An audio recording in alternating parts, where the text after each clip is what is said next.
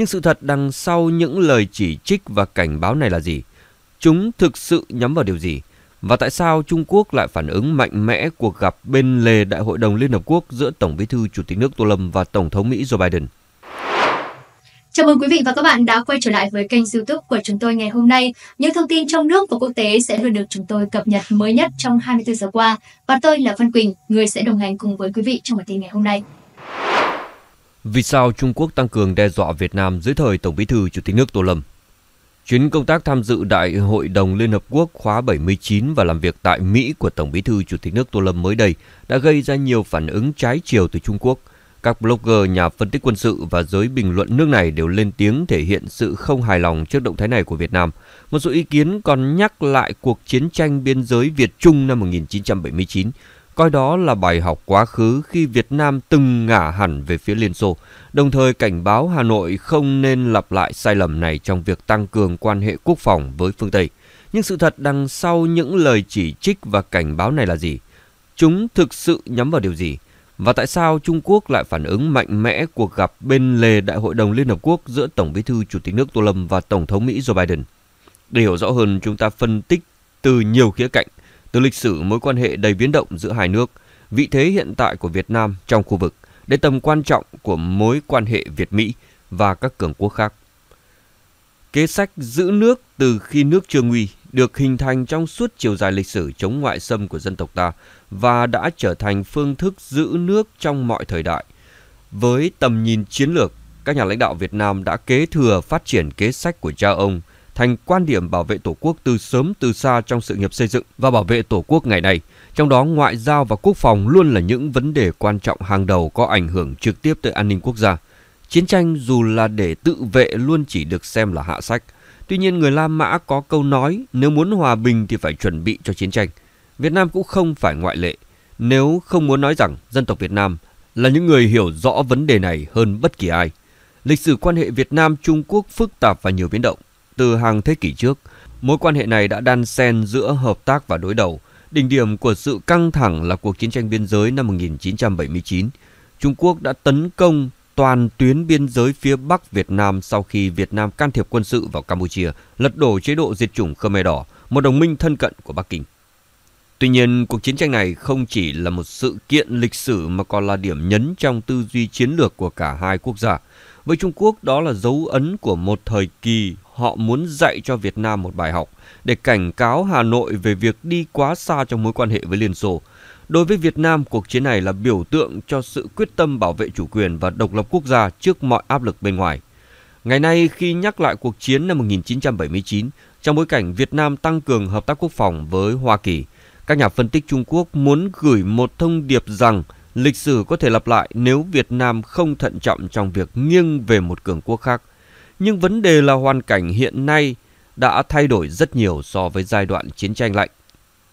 Và việc rút ra những bài học từ quá khứ phải dựa trên một cái nhìn tỉnh táo, không thể giản đơn hóa. Việc Việt Nam tăng cường quan hệ quốc phòng với Hoa Kỳ không phải là điều gì mới. Kể từ khi hai nước bình thường hóa quan hệ ngoại giao vào năm 1995, quan hệ song phương đã phát triển trên nhiều lĩnh vực, trong đó có hợp tác an ninh, nâng cao năng lực quốc phòng, đặc biệt là trong các lĩnh vực phi truyền thống như an ninh hàng hải và tranh chấp biển Đông. Tuy nhiên, Việt Nam vẫn luôn duy trì một chính sách đối ngoại độc lập đa phương hóa, đa dạng hóa, kiên định chính sách quốc phòng 40, không cho nước ngoài đặt căn cứ quân sự hoặc sử dụng lãnh thổ để chống lại nước khác, không tham gia liên minh quân sự, không liên kết với nước này để chống lại nước kia và không sử dụng vũ lực hoặc đe dọa sử dụng vũ lực trong quan hệ quốc tế. Điều này thể hiện rõ trong cách Việt Nam tiếp cận quan hệ với các đối tác lớn, bao gồm cả Hoa Kỳ và Trung Quốc. Sự không hài lòng của Trung Quốc trước các chuyến công du của lãnh đạo Việt Nam phản ánh sự lo lắng của Bắc Kinh về việc mất dần ảnh hưởng ở Đông Nam Á, đặc biệt là Việt Nam, trong bối cảnh Hoa Kỳ và các đồng minh đang nỗ lực mở rộng quan hệ với các quốc gia trong khu vực nhằm kiềm chế sự trỗi dậy của Trung Quốc.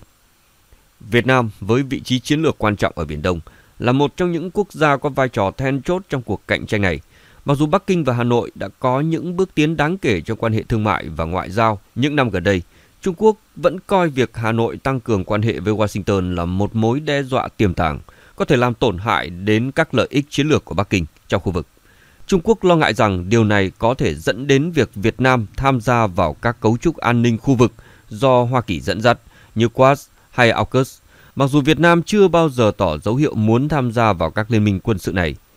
Việc nhắc lại bài học từ cuộc chiến tranh biên giới 1979 là một cách để Trung Quốc nhắc nhở Việt Nam về những rủi ro khi đi quá gần với một cường quốc phương Tây. Tuy nhiên trong bối cảnh hiện tại, thông điệp này có vẻ không còn phù hợp, bởi Việt Nam đã trưởng thành và có đủ khả năng để điều chỉnh chính sách đối ngoại của mình dựa trên lợi ích quốc gia. Trung Quốc cũng cảnh báo rằng bất kỳ sự thay đổi nào trong chính sách đối ngoại của Việt Nam, đặc biệt là liên quan đến các tranh chấp trên Biển Đông có thể khiến tình hình khu vực thêm căng thẳng – việc Việt Nam tham gia vào các cơ chế an ninh do Hoa Kỳ thúc đẩy như hợp tác với Philippines trong việc tăng cường an ninh hàng hải được Trung Quốc coi là mối đe dọa trực tiếp đến các yêu sách về chủ quyền của họ. Hải cảnh Trung Quốc đã bị cáo buộc gây hấn và làm gián đoạn các hoạt động đánh bắt thủy sản và khai thác năng lượng của các nước như Malaysia, Philippines và Việt Nam, gây lo ngại về sự leo thang mâu thuẫn và thách thức mối quan hệ giữa các nước trong khu vực – Phát biểu tại diễn đàn Hương Sơn Bắc Kinh lần thứ 11 tại Trung Quốc ngày 13 tháng 9, Bộ trưởng Quốc phòng Việt Nam Đại tướng Phan Văn Giang nói, châu Á Thái Bình Dương vẫn đối mặt với những tranh chấp nan giải về chủ quyền và lãnh thổ, đặc biệt là trên biển. Việt Nam kiên định giải quyết mọi bất đồng bằng các biện pháp hòa bình, tôn trọng độc lập chủ quyền và lợi ích chính đáng của các quốc gia, tuân thủ luật pháp quốc tế, đặc biệt là Công ước Liên Hợp Quốc về luật biển UNCLOS 1982. Mới đây, ngày 29 tháng 9, vụ lực lượng thực thi pháp luật Trung Quốc tấn công đánh bị thương và tịch thu tài sản của ngư dân Việt Nam tại quần đảo Hoàng Sa không chỉ là nấc thang mới trong chiến dịch đe dọa Việt Nam mà còn là phép thử của Trung Quốc nhằm đo lường phản ứng của Việt Nam dưới thời nhà lãnh đạo mới của Việt Nam Tổng Bí thư Chủ tịch nước Tô Lâm. Vụ việc lực lượng chấp pháp Trung Quốc tấn công và tịch thu tài sản của ngư dân trên tàu cá QNG 95739TS tại khu vực quần đảo Hoàng Sa đã gây ra làn sóng phẫn nộ trong dư luận Việt Nam. Đây không phải là lần đầu tiên tàu cá Việt Nam bị lực lượng Trung Quốc tấn công tại vùng biển Việt Nam có chủ quyền. Nhưng diễn biến lần này lại đến trong bối cảnh căng thẳng giữa hai nước có khuynh hướng leo thang. Hoàng Sa được Việt Nam khẳng định là lãnh thổ không thể tranh cãi đã bị Trung Quốc chiếm từ những năm 1974. Những hoạt động quân sự và thực thi pháp luật của Trung Quốc tại đây luôn gây tranh cãi và tạo ra sự bất ổn trong khu vực. Vụ tấn công vào tàu cá của Việt Nam không chỉ gây tổn thương cho ngư dân, mà còn đặt ra câu hỏi về việc Trung Quốc đang thực hiện chính sách gì tại khu vực này. Hành động của Trung Quốc có thể được xem là nhằm đánh giá mức độ cứng rắn của Hà Nội, đặc biệt là khi lãnh đạo mới của Việt Nam vừa có những bước đi quan trọng trong việc củng cố quan hệ với đối tác chiến lược toàn diện với Mỹ, quốc gia đang có chính sách đối đầu với Trung Quốc tại khu vực. Trước những hành động hung hăng của Trung Quốc, Việt Nam đã có những phản ứng quyết liệt. Trong tuyên bố vào ngày 2 tháng 10, Bộ Ngoại giao Việt Nam đã lên án hành vi thô bạo của Trung Quốc và kiên quyết phản đối Bắc Kinh xâm phạm chủ quyền biển đảo của Việt Nam – Tuyên bố của Việt Nam được đánh giá là mạnh mẽ và trực diện hơn những lần trước khi người phát ngôn Bộ Ngoại giao Việt Nam Phạm Thu Hằng đã nêu đích danh tên Trung Quốc khi lên án cách đối xử thô bạo của Bắc Kinh. Đây là lần hiếm hoi Hà Nội sử dụng ngôn từ trực diện và mạnh mẽ như vậy, trái ngược với cách tiếp cận mềm mỏng trong các sự việc tương tự trước đây. Sự thay đổi này có thể phản ánh quan điểm cứng rắn hơn từ phía lãnh đạo Việt Nam dưới thời ông Tô Lâm – người được dự đoán có thể có lập trường đối ngoại cởi mở hơn với phương Tây, đồng thời không hoàn toàn thỏa hiệp với Bắc Kinh. Từ trước đến nay, Trung Quốc luôn tìm cách duy trì ảnh hưởng đối với Việt Nam, thực thi chiến lược cây gậy và củ cà rốt nhằm kiềm chế Việt Nam. Chuyến thăm của Tổng Bí thư Chủ tịch nước Tô Lâm tới các nước Mỹ, Pháp, Ireland và tham gia các diễn đàn quốc tế càng khiến Bắc Kinh tăng cường các hành động trên thực địa để tạo sức ép đối với Việt Nam. Theo Reuters, từ ngày 30 tháng 9 đến ngày 1 tháng 10, Trung Quốc đã triển khai các cuộc tuần tra sẵn sàng chiến đấu trên Biển Đông thể hiện rõ ràng sự phản ứng của họ trước những nỗ lực ngoại giao hướng Tây của Việt Nam. Trong khi đó, Trung Quốc vẫn khẳng định tàu cá Việt Nam đã vi phạm vùng biển Hoàng Sa nhằm giảm nhẹ tầm quan trọng của vụ tấn công này trong mắt công luận quốc tế. Trong bối cảnh căng thẳng ngày càng leo thang, câu hỏi Trung Quốc sẽ làm gì tiếp không chỉ đơn giản là một lời cảnh báo mà còn là một dự đoán có cơ sở về những hành động của Bắc Kinh ở Biển Đông –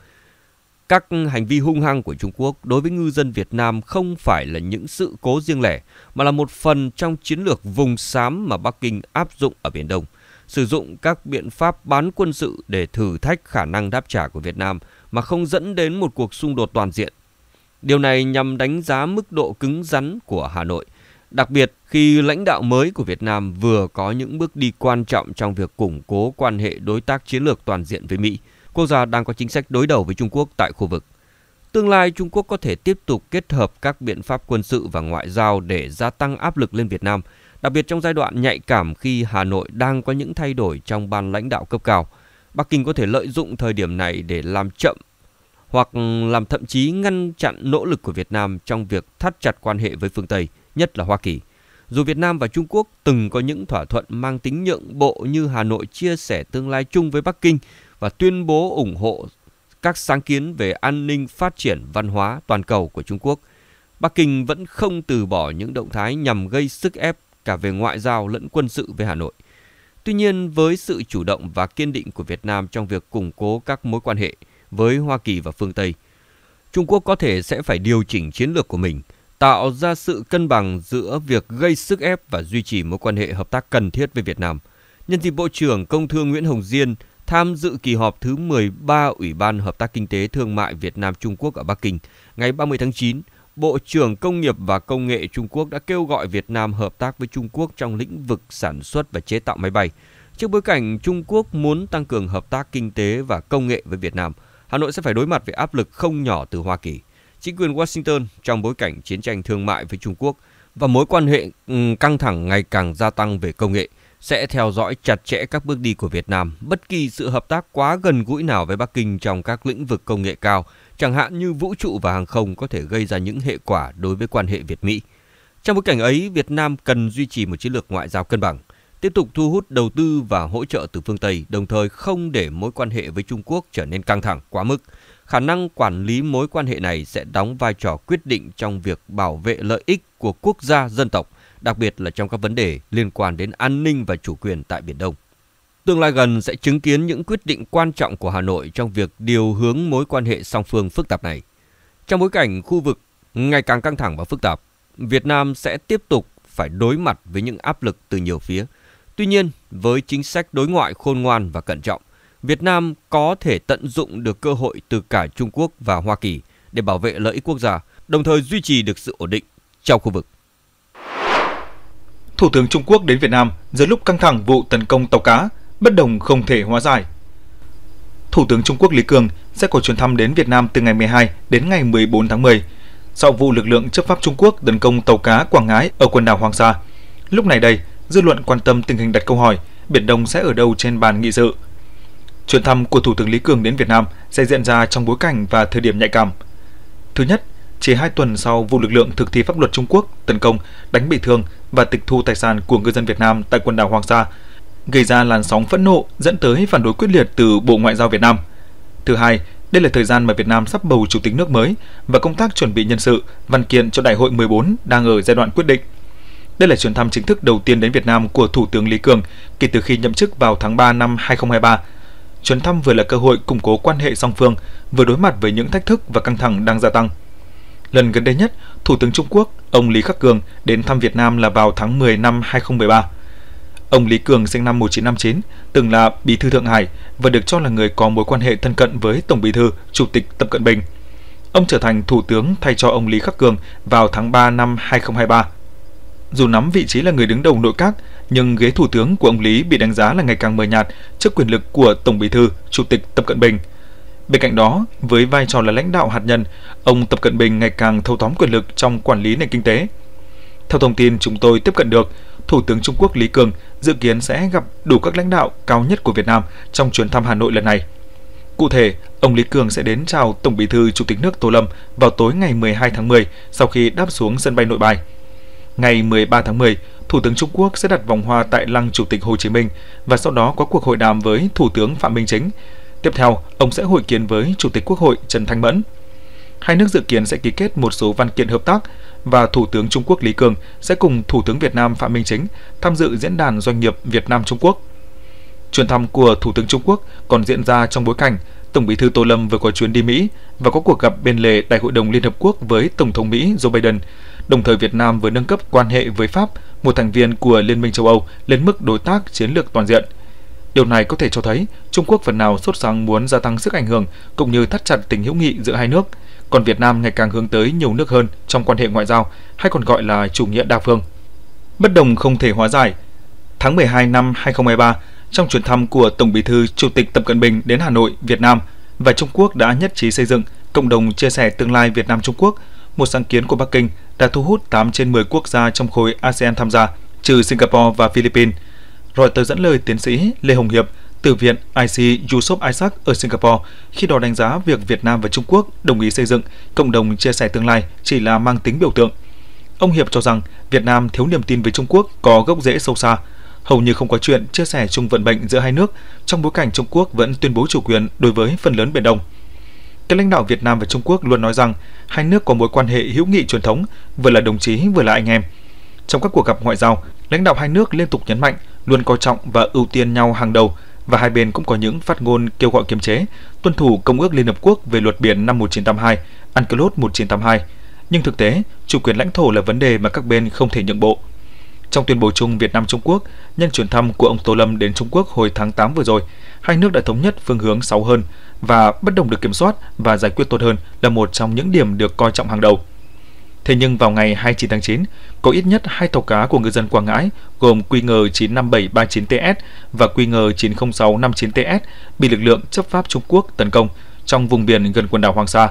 Thực thể địa lý mà Việt Nam tuyên bố chủ quyền, nhưng Trung Quốc đã dùng vũ lực để chiếm hữu và kiểm soát thực địa từ năm 1974 sau trận hải chiến với Hải quân Việt Nam Cộng Hòa. Đây không phải là lần đầu tiên tàu cá Việt Nam bị lực lượng chấp pháp Trung Quốc tấn công tại vùng biển mà Việt Nam có chủ quyền. Thực tế, đã có nhiều vụ ngư dân Việt Nam bị Trung Quốc tấn công, hành hung và lấy hết tài sản, nhưng vụ việc ngày 29 tháng 9 đã gây ra làn sóng phẫn nộ trong dư luận Việt Nam. Trước những hành động hung hăng của Trung Quốc, Việt Nam đã có phản ứng quyết liệt. Trong tuyên bố vào ngày 2 tháng 10, Bộ Ngoại giao Việt Nam đã lên án hành vi thô bạo của Trung Quốc và kiên quyết phản đối Bắc Kinh xâm phạm chủ quyền biển đảo của Việt Nam. Tuyên bố của Việt Nam được đánh giá là mạnh mẽ và trực diện hơn những lần trước khi người phát ngôn Bộ Ngoại giao Việt Nam Phạm Thu Hằng đã nêu đích danh tên Trung Quốc khi lên án cách đối xử thô bạo của Bắc Kinh. Đây là lần hiếm hoi Hà Nội sử dụng ngôn từ trực diện và mạnh mẽ như vậy, trái ngược với cách tiếp cận mềm mỏng trong các sự kiện tương tự trước đây. Sự thay đổi này có thể phản ánh quan điểm cứng rắn hơn từ phía lãnh đạo Việt Nam dưới thời ông Tô Lâm, người được dự đoán có thể có lập trường đối ngoại cởi mở hơn với phương Tây, đồng thời không hoàn toàn thỏa hiệp với Bắc Kinh. Mỹ, Anh, Canada, Úc, Philippines đã đồng loạt lên án việc lực lượng chấp pháp Trung Quốc đánh bị thương, tịch thu tài sản ngư dân Việt Nam vào ngày 29 tháng 9. Các tuyên bố từ Washington, London, Canberra và Manila đồng loạt được đăng tải vào ngày 4 tháng 10, hai ngày sau khi Việt Nam chỉ đích danh Trung Quốc là thủ phạm, đều lên án mạnh mẽ hành vi bạo lực của lực lượng chấp pháp Trung Quốc. Mỹ đặc biệt bày tỏ sự quan ngại sâu sắc và kêu gọi Trung Quốc ngừng ngay các hành động nguy hiểm tại khu vực Biển Đông. Anh và Canada cũng đưa ra các tuyên bố tương tự, kêu gọi tuân thủ luật pháp quốc tế, trong khi Philippines, quốc gia ASEAN có tranh chấp mạnh mẽ với Trung Quốc, đã thẳng thắn ủng hộ Việt Nam. Người phát ngôn Bộ Ngoại giao Mỹ Matthew Miller viết trên mạng xã hội X vào ngày thứ Sáu mùng 4 tháng 10 rằng Mỹ quan ngại sâu sắc trước thông tin các tàu chấp pháp của Cộng hòa Nhân dân Trung Hoa đã có hành động nguy hiểm nhắm vào các tàu cá Việt Nam xung quanh quần đảo Hoàng Sa vào ngày 29 tháng 9. Chúng tôi kêu gọi Trung Quốc chấm dứt các hành động nguy hiểm và gây bất ổn trên Biển Đông. Về phần mình, Philippines, đồng minh hiệp ước của Mỹ, đồng thời là quốc gia ASEAN được xem là cứng rắn nhất trong tranh chấp đối với Trung Quốc trên Biển Đông, đã lên tiếng khẳng định ủng hộ Việt Nam trong việc lên án hành động quá đáng của Trung Quốc. Tuyên bố của Cố vấn An ninh Quốc gia Philippines ngày 4 tháng 10 nêu rõ, chúng tôi kịch liệt lên án những hành động tàn bạo và phi pháp của lực lượng hàng hải Trung Quốc nhằm vào các ngư dân Việt Nam gần quần đảo Hoàng Sa vào ngày 29 tháng 9. Cuộc tấn công sai trái này đã làm 10 ngư dân bị thương và tài sản bị hư hại, là một hành động đáng báo động và không có chỗ đứng trong quan hệ quốc tế. Sử dụng vũ lực nhằm vào những người dân đánh bắt cá là hành vi vi phạm trắng trợn luật pháp quốc tế, đặc biệt là Công ước của Liên Hợp Quốc về luật biển năm 1982 và vi phạm phép tắc cơ bản của con người. Ngư dân cũng như các nhân viên hàng hải cần phải được bảo vệ chứ không phải bị làm hại trên biển khơi, tuyên bố nêu rõ. Sự phản ứng đồng loạt này không chỉ là một động thái ngoại giao mà còn là lời cảnh báo gửi đến Trung Quốc về những hệ quả quốc tế nếu họ tiếp tục leo thang căng thẳng. Đồng thời, điều này còn củng cố vị thế của Việt Nam trên trường quốc tế, cho thấy Hà Nội không còn đứng riêng lẻ trong các tranh chấp tại Biển Đông mà đang có sự ủng hộ rộng rãi từ cộng đồng quốc tế. Việc Trung Quốc tăng cường bạo lực đối với ngư dân Việt Nam vào thời điểm này có thể được coi là phép thử đối với nhà lãnh đạo mới của Việt Nam. Tuy nhiên, phản ứng cứng rắn của Hà Nội cùng với sự ủng hộ từ các quốc gia lớn đã cho thấy ông Tô Lâm không dễ bị Bắc Kinh ép buộc. Hơn nữa, việc Hà Nội công khai chỉ trích Trung Quốc trong vụ việc này là một tín hiệu cho thấy Việt Nam có thể sẽ giữ lập trường cứng rắn hơn trước các hành vi gây hấn của Bắc Kinh tại Biển Đông. Điều này cũng khẳng định quan điểm rõ ràng của Việt Nam, chủ quyền và lợi ích quốc gia là không thể nhân nhượng, đồng thời khéo léo trong việc tạo dựng quan hệ với cả Trung Quốc và phương Tây. Cho đến nay, trong ASEAN, Philippines là quốc gia duy nhất khởi kiện Trung Quốc ra tòa án quốc tế. Philippines cũng thường công khai các va chạm trên biển và lên án mạnh mẽ Trung Quốc. Cách tiếp cận của Việt Nam đối với tranh chấp Biển Đông rất khác Philippines. Việt Nam luôn có các tuyên bố mang tính ngoại giao, tránh đề cập trực tiếp tới Trung Quốc trong các vụ việc mà Việt Nam không phải là nạn nhân của Bắc Kinh. Giờ đây, sau khi Việt Nam có những bước đi đầu tiên trong việc hợp tác an ninh hàng hải với Philippines, thì Philippines đã ngay lập tức lên án Trung Quốc mạnh mẽ trong vụ tàu cá Quảng Ngãi bị tấn công, thể hiện sự sát cánh với Việt Nam. Đây có lẽ cũng là điều khó xử cho Việt Nam trong tương lai, trong một kịch bản giả định là tàu Trung Quốc có hành vi tấn công tương tự đối với tàu cá của Philippines. Lần này, Bộ Ngoại giao Việt Nam đã lên án thẳng thừng lực lượng thực thi pháp luật Trung Quốc và nói rằng đã giao thiệp nghiêm khắc với Đại sứ quán Trung Quốc tại Hà Nội. Một nguồn tin tiết lộ rằng Bộ Ngoại giao Việt Nam đã làm việc với ông Hà Vĩ, tân đại sứ Trung Quốc tại Việt Nam, để nói chuyện về việc Trung Quốc hành xử thô bạo đối với tàu cá và ngư dân Việt Nam. Theo đánh giá của nguồn tin này, nếu vụ việc được đề cập với Thủ tướng Lý Cường vào chuyến thăm sắp tới đây, thì nhiều khả năng cũng chỉ ở mức chừng mực, không nghiêm khắc như với đại sứ Trung Quốc. Điều này cũng phù hợp với cách tiếp cận lâu nay của Việt Nam đối với Trung Quốc trong vấn đề Biển Đông, ngoại giao âm thầm nhiều nhất có thể và chỉ lên tiếng công khai mạnh mẽ đối với những vụ việc nghiêm trọng hoặc khi kênh ngoại giao không thành công. Tiếng Anh có câu thành ngữ Let's sleeping dog lie, tạm dịch đừng chọc con chó đang ngủ. Nói cách khác, đừng có thực hiện các hành động có thể khiêu khích đối phương. Và có lẽ vì thế, Việt Nam vẫn rất thận trọng trong các vấn đề quan hệ và đối thoại với Trung Quốc, nhất là về chủ quyền lãnh thổ, vì Việt Nam phải chịu những áp lực nhất định từ Trung Quốc trong vấn đề kinh tế thương mại. Tuy nhiên, thời gian gần đây, Việt Nam được cho là có những bước đi mạnh bạo khi tăng cường lấn biển, bồi lấp đảo, mở rộng các tiền đồn ở quần đảo Trường Sa, nộp đệ trình danh giới thêm lục địa mở rộng khu vực Bắc Biển Đông, diễn tập với lực lượng cảnh sát biển Philippines, triển khai tàu hải quân tới Úc tham gia tập trận cùng các nước phương Tây. Có thể thấy, với vấn đề chủ quyền trên Biển Đông, hai bên chỉ có thể làm dịu căng thẳng, kiềm chế các va chạm trên thực địa, chứ khó có thể đạt được một giải pháp lâu dài để chấm dứt tranh chấp. Trong các kế hoạch hợp tác đầy tham vọng giữa Việt Nam Trung Quốc, có 3 tuyến đường sắt khổ tiêu chuẩn 1435 mm, Lào Cai, Hà Nội, Hải Phòng, Lạng Sơn, Hà Nội và Móng Cái, Hạ Long, Hải Phòng. Đây là những nỗ lực nhằm tăng cường kết nối vận tải, giao thương giữa hai nước thuộc khuôn khổ sáng kiến hai hành lang, một vành đai kinh tế. Mới đây, tại hội nghị Trung ương 10 diễn ra từ ngày 18 đến ngày 20 tháng 9, Ban chấp hành Trung ương và Bộ Chính trị đã thống nhất chủ trương về xây dựng dự án đường sắt cao tốc Bắc Nam. Ngày 24 tháng 9, tại thành phố Nam Ninh, Phó Thủ tướng Việt Nam Hồ Đức Phước đã hội đàm với Phó Thủ tướng Trung Quốc Đinh Tiết Tường. Tại đây, ông Phước đã đề nghị hai bên thúc đẩy hợp tác, đặc biệt là kết nối hạ tầng giao thông đường sắt, đường bộ qua biên giới. Vào ngày 5 tháng 10, Thủ tướng Phạm Minh Chính chủ trì cuộc họp với các bộ ngành cơ quan liên quan để thảo luận cho ý kiến về chủ trương đầu tư dự án đường sắt tốc độ cao trên trục Bắc Nam và triển khai các dự án đường sắt kết nối với Trung Quốc. Những diễn biến liên tiếp này phần nào thể hiện sự quyết tâm của các nhà lãnh đạo Việt Nam trong việc thực hiện các tuyến đường sắt nối với Trung Quốc và đường sắt cao tốc Bắc Nam. Hiện nay, Trung Quốc có mạng lưới đường sắt bao gồm đường sắt cao tốc lớn nhất hành tinh. Nước này cũng làm chủ công nghệ đường sắt cao tốc. Do đó, hợp tác phát triển mạng lưới đường sắt cho Việt Nam có thể sẽ là một trong những nội dung trọng tâm trong cuộc hội đàm giữa Thủ tướng Phạm Minh Chính và Thủ tướng Lý Cường. Hôm 9 tháng 10, tờ Hoàn Cầu Thời báo của Trung Quốc viết rằng Việt Nam, một nước chủ nghĩa xã hội, cũng được hưởng lợi từ việc tăng cường kết nối và cải thiện hiệu quả hệ thống hậu cần nhờ vào sự hợp tác cơ sở hạ tầng với Trung Quốc, bao gồm hạ tầng đường sắt, đường cao tốc và cảng biển. Hiện nay, gần như toàn bộ mạng lưới đường sắt lạc hậu của Việt Nam vốn được xây dựng từ thời Pháp thuộc, từ cuối thế kỷ 19 đến đầu thế kỷ 20 đều sử dụng khổ hẹp 1.000 mm.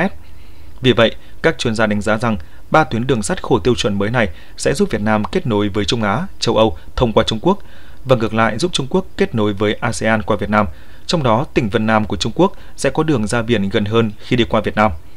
Bên cạnh đó, các công trình này sẽ giúp gã khổng lồ Trung Quốc củng cố ngoại giao đường sắt, một phần quan trọng trong sáng kiến vành đai và con đường để mở rộng kết nối, thúc đẩy thương mại và tăng cường sức ảnh hưởng lên khu vực Đông Nam Á và xa hơn.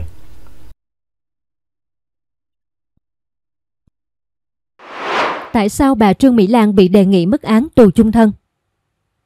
Chiều 10 tháng 10, phiên tòa xét xử bà Trương Mỹ Lan, Chủ tịch Hội đồng Quản trị Vạn Thịnh Phát và đồng phạm tiếp tục phần tranh luận.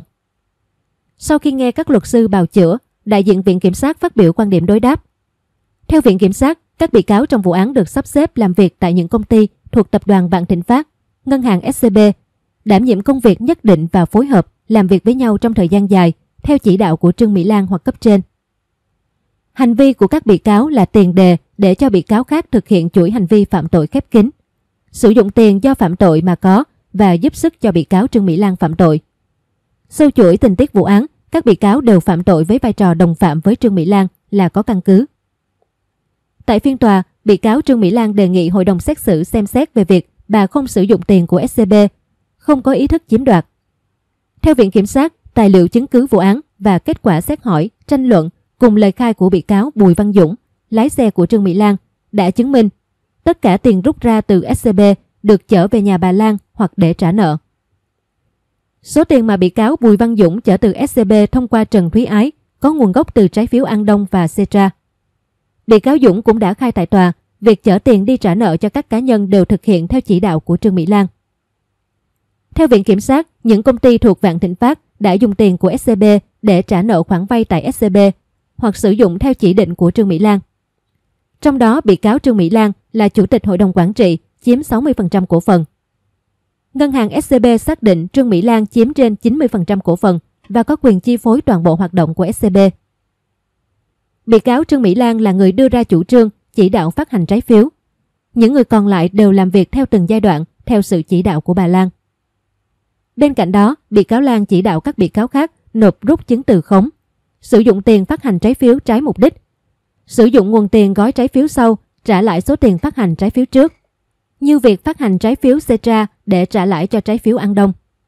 Qua đó thể hiện khả năng mất thanh toán của các công ty phát hành trái phiếu và ý thức chiếm đoạt của bà Lan. Viện Kiểm sát nhận định bị cáo Lan có vai trò cao nhất, chịu trách nhiệm toàn bộ. Các bị cáo khác chỉ làm theo chỉ đạo của cấp trên, làm công hưởng lương và làm theo từng công việc cụ thể được giao. Theo đại diện cơ quan công tố, khi luận tội, Viện Kiểm sát đã ghi nhận nhiều tình tiết giảm nhẹ, thái độ chuyển biến của bị cáo Trương Mỹ Lan, ý thức khắc phục hậu quả. Nhưng xét tính chất, mức độ của vụ án, vẫn cần thiết áp dụng mức hình phạt cao nhất của tội danh bị truy tố. Trong ba tội danh bị truy tố, tội lừa đảo chiếm đoạt tài sản có khung hình phạt cao nhất là chung thân. Tại tòa, bà Trương Mỹ Lan đồng ý dùng toàn bộ tài sản để khắc phục hậu quả. Tuy nhiên, đại diện Viện Kiểm sát cho rằng đây mới chỉ là phương án, chủ trương bằng lời nói, cần thêm thời gian để có kết quả. Cảm ơn quý vị và các bạn đã theo dõi. Đừng quên bấm đăng ký kênh để không bỏ lỡ những tin tức mới mỗi ngày.